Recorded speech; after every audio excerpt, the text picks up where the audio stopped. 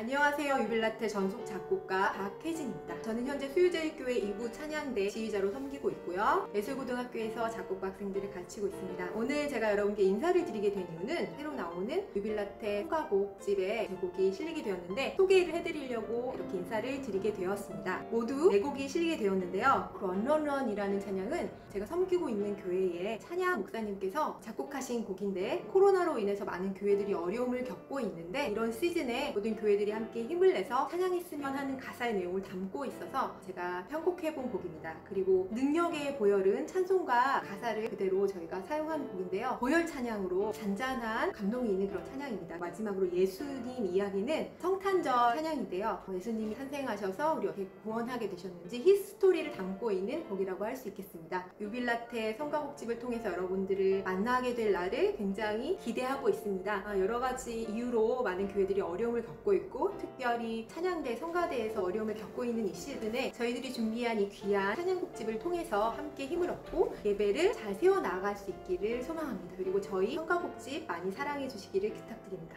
감사합니다.